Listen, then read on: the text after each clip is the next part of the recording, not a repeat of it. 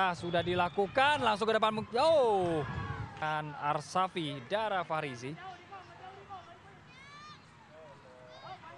Terjadi pergantian pemain kali ini di tubuh Asiop Merah. Tackling bersih tadi. Uh, baik sekali. Kali ini sebuah skema serangan balik dari Asiop Merah.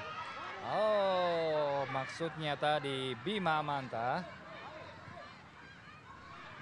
Masih bisa shooting langsung. Uh, baik sekali tadi. Untuk Akademi Persib Karawang, Diko Johnson. Lagi-lagi Diko Johnson. Gian Al Khairan. Yang begitu sigap tadi untuk bisa memotong jalur. Oh, sendirian Daud Pratama.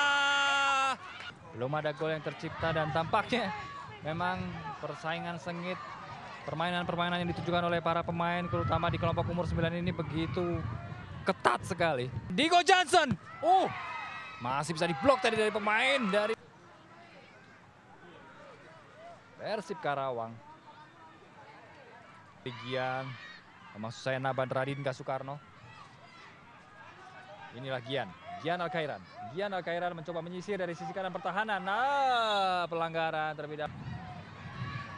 Uh, hampir saja Diki Johnson tadi kita lihat. Pertama kali ini sebuah gol heading yang begitu apik. Menyambut umpan. Dan akhirnya baik sekali. Gol tercipta kali ini oleh Sang Il Capitano. Luar biasa Fauzan Iqbal Saputra.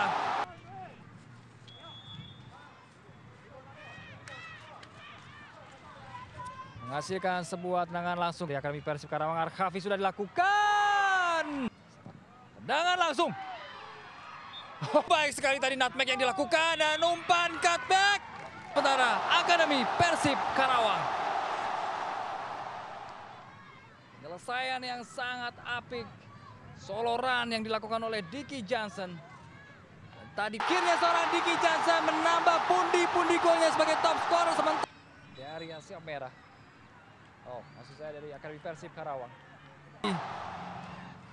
Membuka keran golnya untuk Asiop Merah. Satu untuk Asiop Merah. Abio Gani Mulyadi di akhir-akhir. Namun kali ini sayangnya peluit terakhir dibunyikan. Dan kemenangan tiga poin akhirnya didapatkan oleh Akademi Persib Karawang. 2-1 skor akhir. Di mana tadi gol dicetak oleh Miftahul Hodi, Diko Johnson dan juga Fauzan Iqbal Saputra dari Akademi Persib Karawang. Sementara gol dari Asiop Merah didapatkan oleh Albiol Gani Mulyadi di penghujung akhir babak kedua.